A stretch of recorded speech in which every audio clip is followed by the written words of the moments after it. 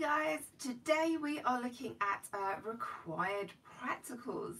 Um, this video is sponsored by the Oxford University Press who made the brilliant decision of getting me to write these four books for them. A big one for combined science and then little ones for uh, each of the separate sciences. And you will notice there are lots of its papers and post-it notes in these days because I'm going to take you through parts of them. But um, this video, hi guys, um, isn't just a cheesy attempt for me to sell books to you because that is literally just cheesy. Um, this is, um, these books, I spent about six months writing these books. I spent so much time reading loads and loads and loads of really, really long documents written by the exam board, written by the government, loads and loads of documents which lots of people have never read before. And then I did loads of planning, loads of thinking, loads of talking to lots of other people um, and that is the work that has gone into all of these required practical books. So it's not just like, you know, I got bored one day, sat down and started to write a few questions. Um, it's not just like I tried to write as many questions as I can on each thing. This is about focused revision um, from somebody, you know, who has spent a lot of time and effort thinking about required practical questions. And these are important because last year after the um after the exams you know pretty much the last thing you want to do is go and talk to your teachers and tell your teachers what the um, exam questions were. So what, what you do is you go onto twitter and instagram and sometimes facebook and talk about things.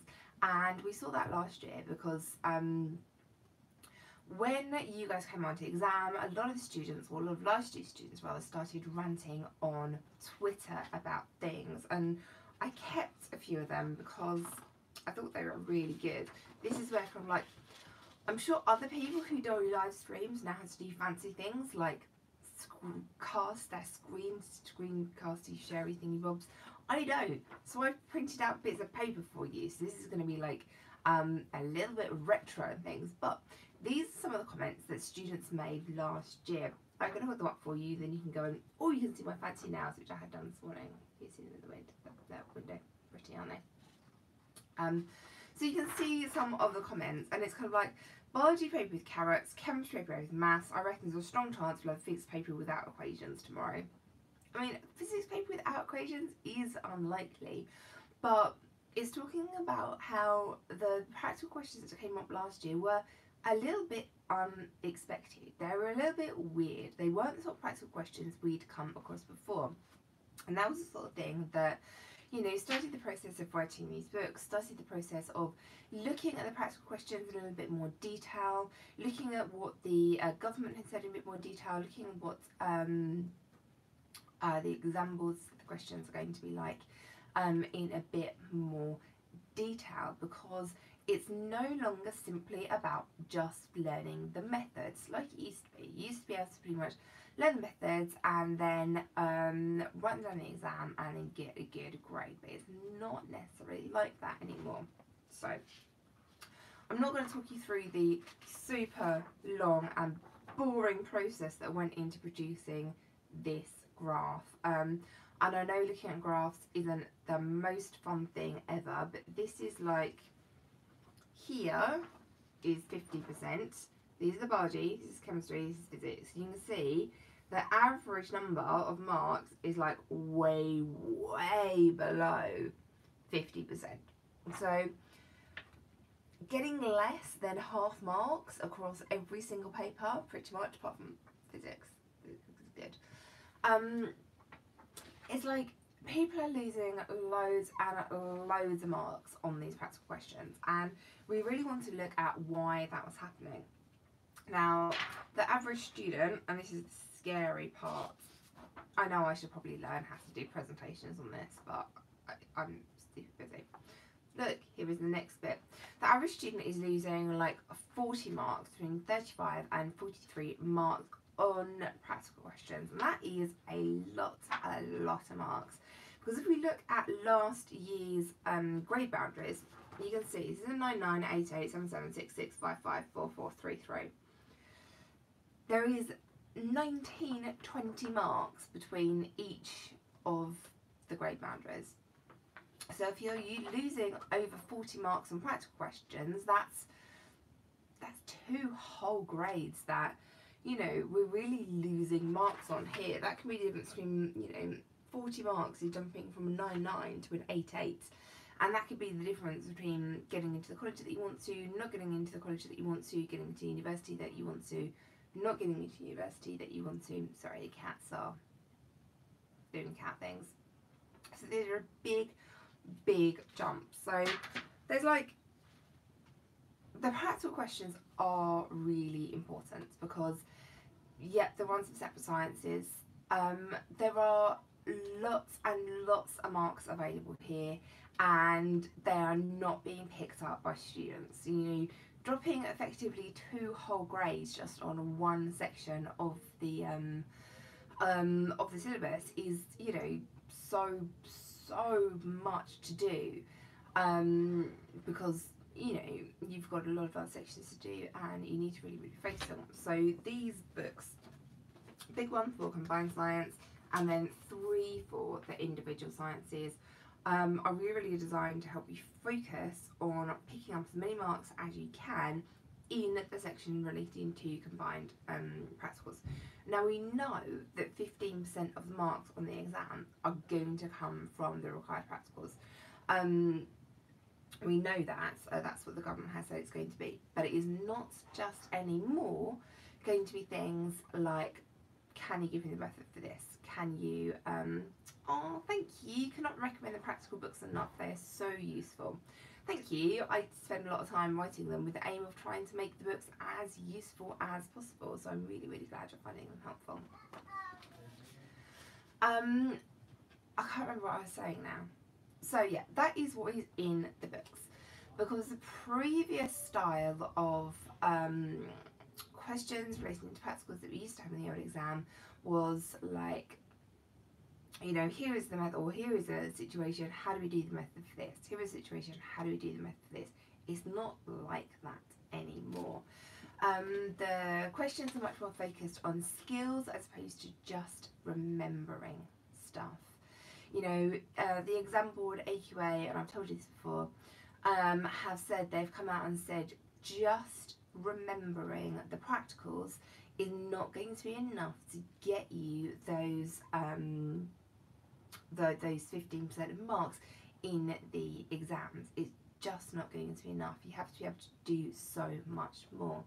And the other problem with students just remembering um, the practical that they've done in class is that not every class, not every school has access to the same practical equipment. Not every class, not every school can afford the same practical equipment. So Whereas one class might do um, an experiment with light gates for acceleration, another class might just be putting tape on the desk and timing things as they go across.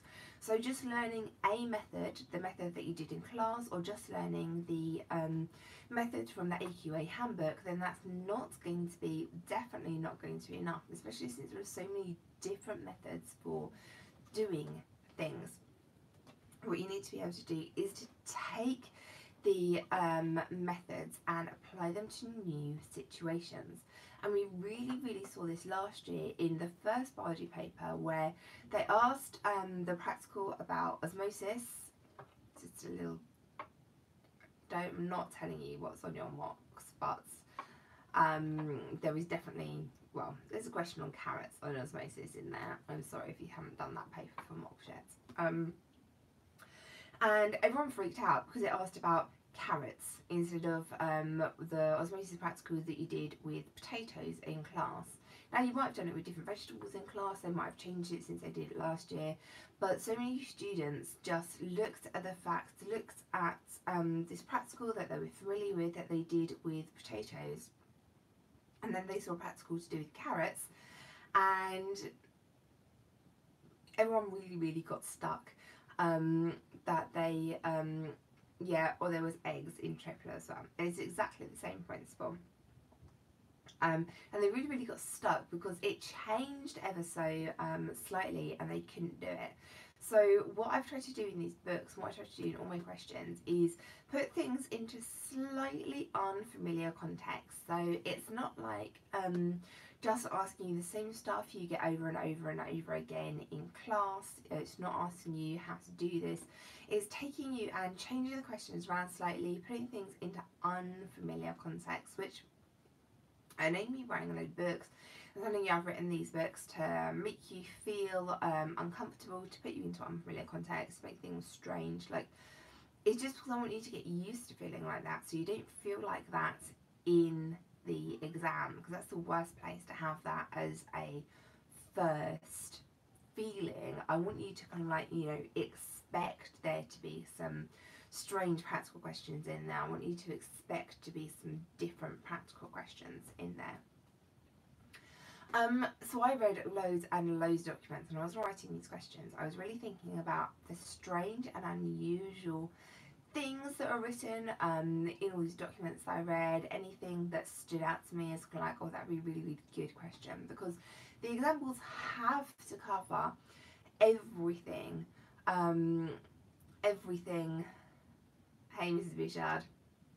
Um, the practical questions, the example has to cover everything um, that um, is in the specification. So we know that every single practical is going to come up over the course of five years. We know that every single thing about every single practical is going to come up over the course of five years so that, you know, little things that they write in there are important even though they might not seem like it at the beginning. Now for every single practical, you have to um, look at the questions and you have to be able to take the method and rewrite a good method for that. For every single practical, you have to be able to write a risk assessment for that. So, um, chemistry, highlighted one of the little chemistry questions in here. No, that's biology. Chemistry is red. I should probably have worked this out by now. So one of the questions that I wrote in here is it's all about the the copper sulfate practical and um, making crystals. You know, beautiful blue crystals. It's a great practical, um, and it's really really nice. But one of the things you've got to be able to do here is is to write a risk assessment for it. And when we're writing risk assessments, you've got to think about what can hurt you, how it can hurt you and what we can do to prevent it hurting you. It's not just enough to be able to come up with a method, you have to think about the um, the, the risk assessment. You have to be able to write a risk assessment for every single practical that you do. So it's not just enough to say kind of like, you know, wear goggles, um, tie your hair back, because those are just general risk assessments. You need to be able to write one these, I hate this word, specific specific to um, the practical that you're doing. So you can't write about um, you know the problems with putting copper sulfate down the drain in a physics practical when you're talking about um, circuits because that's not a relevant risk. So you have to write relevant risk assessments. You have to think of alterations that you can do to the practical. Now I did find one of these, but where? Where was it? This is the one here, also in chemistry. I should rotate these off, I'm going to get horrendously confused. Put them up there. Good. So you have to think about alterations that you can do to the practicals. So even if you didn't have um, access to all of this equipment in class, even if you didn't have access to um, like a simulation of this equipment, you have to know of relevant alternative equipment that you can use to do the practical, to improve the practical, to make the practical better. For example, when we're doing titrations, this is one of the um, chemistry practicals, instead of looking for a colour change with an indicator, we can put a pH probe in there. So this is a different way of doing the practical. So this is an alteration using a um, data logger to make things more take the post-it notes, I'm going to get so, so confused with things I wanted to show you. Um, this is an alteration to the practical to improve things, to make fire behind me. Thank you. It's just, it's just over here today, actually. Just here. Is that better? Okay, good. Um, yeah, you need to be able to think of alterations to um, practicals that you can do, and you need to have to be able to do this for every single practical. And there are lots of practicals. Combined science, there are 21 practicals, and spiders on the wall are back. Thanks, guys. I imagine the ants will be turning up very, very, and a ghost. Oh, fire, spiders, ants, and ghosts. Brilliant. Um, so for every example, you need to have um, the method which you can write. You need to have um, um, a risk assessment that is relevant to the method, and you need to have a no, I don't find the comments annoying. And you need to have um, alterations that you can do. The other thing you need to do for every single practical is to be able to work out the sources of error. So if you're doing this practical, where might something have gone wrong? And then you need to be able to suggest alternatives so that you can improve it. So all of the skills here are also relevant for A-level and for GCSE. Um, the, the process behind this is exactly the same for A-level sciences as it is for GCSE sciences. You need to know all of your variables, you need to know what the controls are, you need to know how they are controlled. So if you like your control is a volume of something, how have you measured that? So you've measured it in a measuring cylinder and why is that important? For example, in chemistry, it could change the concentration, it could change the rate of something. So you need to know what the controls are, you need to know how the controls are controls, and you need to know why controlling that control is important. That really, really sounds like a horrible, horrible tongue twister. Um, you also need to know your variables, your dependent variables, your independent variables, um, how you're measuring those, um, how you're changing those for, um, okay, that's a good question, I'll come back to that in a second, um, for each of them. Do you need, need to mention the variables if it doesn't mention it in the exam question? really just depends on the question but if it's talking about analysis then yes it's not going to hurt to really quickly jot down somewhere independent variables dependent variables um, but make sure you get it right because if you write down something wrong then the examiner is going to mark you down um, for not knowing what you are talking about um, you need to know how to draw graphs for anything so any of them that has um, really um, anything that has like a common graph, so lots of the physics questions, lots of the, um, the chemistry questions, they have a standard shape of graph. So you should be able to know what that shape of graph is and then hopefully you should be able to um, um, when you come to, if you need to draw a graph or sketch a graph in the exam, then hopefully you should have a vague idea of what the graph should look like so that you know um, so you know whether you've got it in the right ballpark, whether you've got the shape looking right. It needs to be able to draw lines of best fit, so that is going to be um, curved lines of best fit, straight lines of best fits. Um, I know maths is absolutely insistent that every value is a value, but in science we have um, anomalous results. You need to ignore this. You need to um, not do those on your lines of best fit um, and even if your graph doesn't explicitly state that you have to draw a line of best fit you do have to draw a line of best fit um, you need to know how to improve collection of results so um, you could say like uh, they could give you a set of experiments and they could say what is wrong about this um, what could you do to improve the collection of results? Um, you could have something where they're saying, um, this was the experiment that was done, um, what is wrong with this experiment, how could this be improved to make it better um, at a later date and at um, a different point. So I can't remember what all of these tabs are, what they um, what they're all for. So I'm just going to go and have a look at them. And here is a maths question.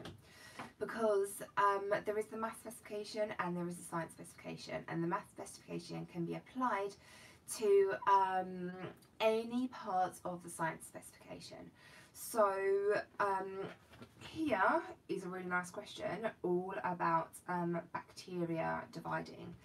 Um, and there is absolutely no way that your teacher would have time to teach you how to answer this question in class because it's not sort of thing that's explicitly mentioned on the specification. It's not the sort of thing that, you know, is going to be in textbooks or anything. It's just a question that I made up. And, you know, you need to be able to practice these sort of hard, unexpected skills because, well, chances are you haven't done them in class. Now, this is another question, and since I couldn't find it in the book, I just knew it was in there somewhere. So, I, I don't know if this is going to be the right way around or backwards for you. In circuit A, the current was found to be 14.8 amps, amps, and the potential difference was found to be 7.4 volts. If circuit B has a current of 9.2, find the potential difference. This is a wordy question, it's a maths question, but it's also just a physics question. Um, and I know lots of people could be confused about how to answer this, but it's just a ratios question. You to divide it by the factor, um, divide it by 2. So the answer is 4.6. Um, now, explaining it as a ratio like that is really simple, but having the question written out like that, well, it's not nice. It's a bit horrible and hard.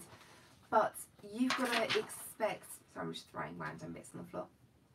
You've got to expect to have different things in the um, exam that potentially you're not used to, that potentially were a bit, um, you know, not really what you're wanting, what is um, not really what you're expecting. So you need to get used to um, all the different things that are going to come up. Um, for example, we know pretty much every single year, so many post-it notes, taking them all we know, for example, pretty much every single year an anomalous result is going to come up, so they are in the books to get you really, really used to doing things. And we know every single year things about data collection are going to come up. So we're talking about um, resolution, we're talking about accuracy, we're talking about precision. Um, and there are all sorts of different ways that they can come up that these can be asked. I'm just going to put these over here because um, holding them really awkward angle. Anyway, the um, once the exams are over, the examiners write um, a, a report about the exams and they go through each question and they kind of like analyse what was good about this question and what was bad about this question and they do it on a national scale. So you can get them to your school, but they're really, really boring and nobody but your teachers wants to read these.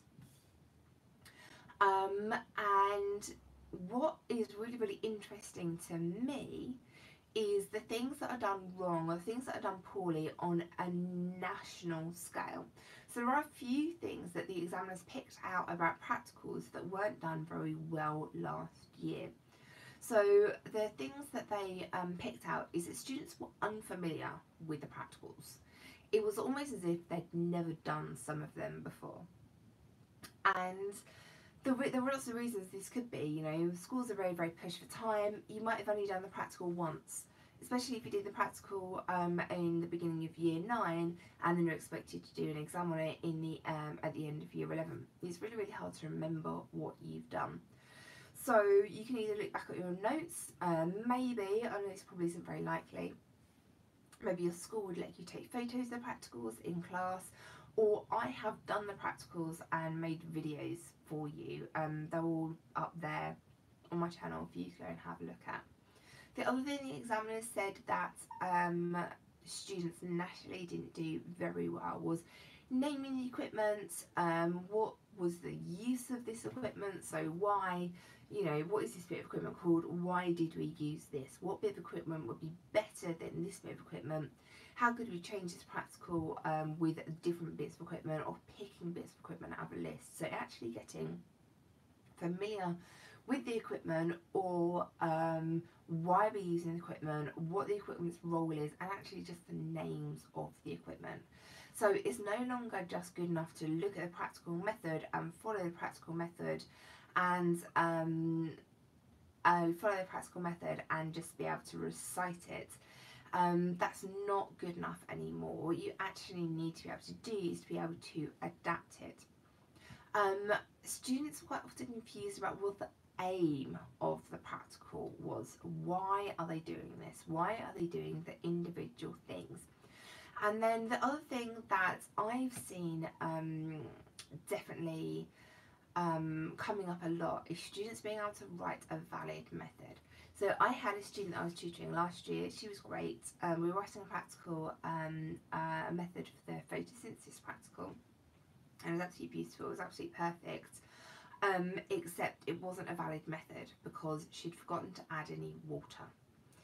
Um, and this literally was like three words added in, like do this in water, but without any water in the photosynthesis experiment, it's really, really hard to count the bubbles because you won't be able to see the bubbles and they won't be able to photosynthesize. Anyway, the pondweed won't work if there's no water. So you have to be able to write a valid method. The other thing you need to be able to do really, really well is stuff we talked about last week, stuff we talked about like describe, explain, evaluate. Um, and this is all um, linked through to six mark questions it's linked through to your maths in science there's no longer specific um, defined questions which are just about practicals which are just about six mark questions which are just about maths these are all really really mixed up now so um, you can have a practical which is also a six mark question you can have a practical um, which is like a really, really maths question. You can have a practical, which is, um, you know, evaluate question, describe question, on lots and lots of different things. So practicals are really, really different to the way they were last year. Oh, I've just seen one thing on my notes. Um, there was um, a question last year about circles. Um, and you know, if you got a question in maths, a maths paper, which said how many degrees are there in a full circle, everyone would know, well, hopefully everyone would know the answer to that. But that's a question in a science paper. I can't remember which paper it is in now, but that was in a science paper. Um, and it really, really threw everybody. So expecting mathsy sort of things in the, in the um, practical questions could really, really be useful. Open Intuition Centre, I'm really sorry, I am so busy, I really don't have time to open a tuition Centre. Um, this is, these are these books, um, they're written for AQA because AQA is the biggest exam board, but the Edexcel practicals are basically the same. There are a few different ones, so these would also be good for Edexcel. Um, I haven't done the analysis or haven't compared them to a, um, OCR or the IGCSEs, so um, I don't know whether you could use them for OCR, but if you give me like, give me into the weekend and I'll write like something and I'll put it on my website comparing all the different examples and all the different practicals so that it's really easy for you guys to look up. More A-level content, yes, so much A-level content, so, so much A-level content.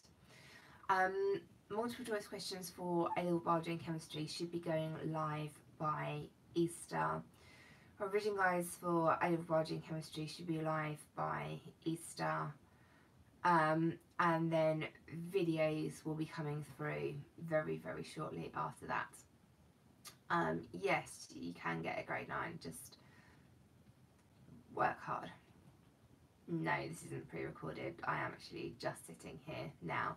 I'm kind of really, well, I'm kind of glad, really, really glad it stopped raining because on the way back from school, I was drenched, horrifically, horrifically drenched.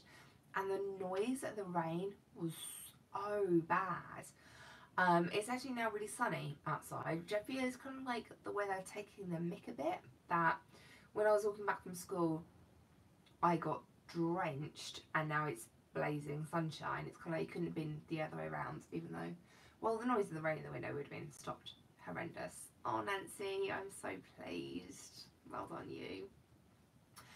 Um, yeah, guys, I still can't open a tuition centre. Sorry. Um, yes, I, I will make some more grade 7 exam questions. Um, I am busy writing so much at the moment. I feel like I've got like several projects going on.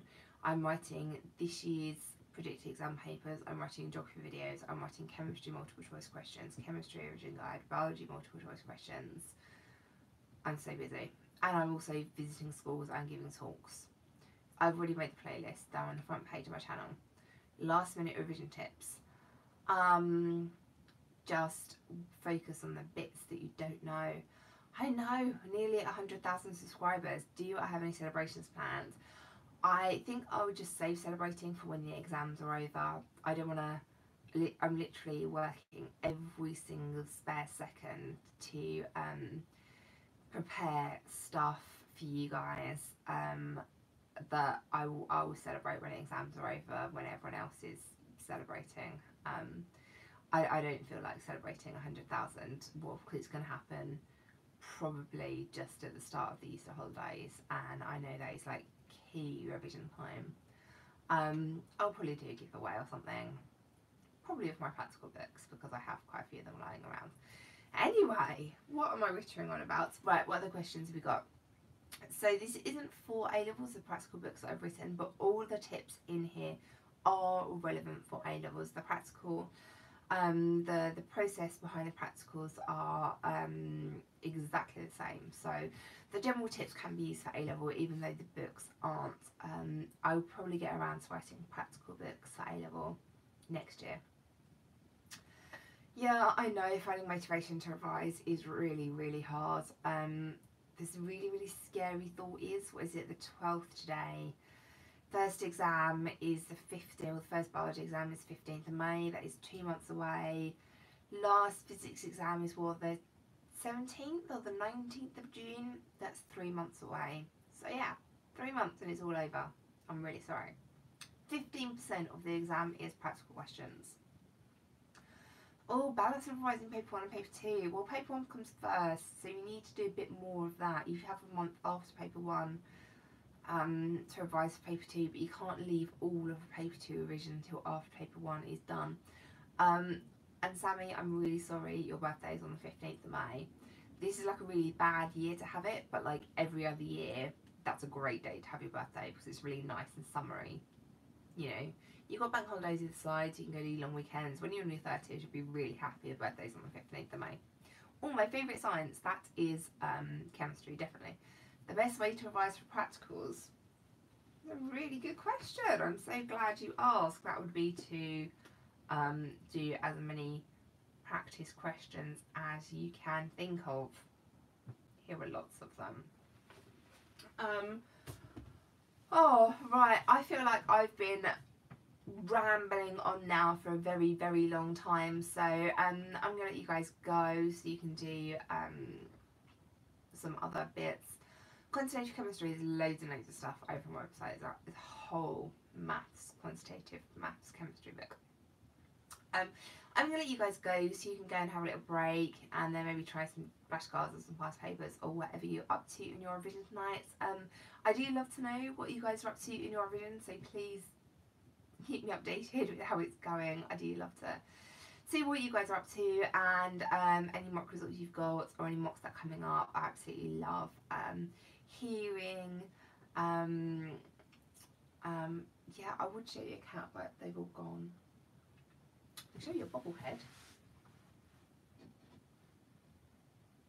Replacement for a cat. Anyway, I now literally am just completely rambling. This is not good video. So I will see you next week, guys, where we're going to be talking about a different subject. Bye.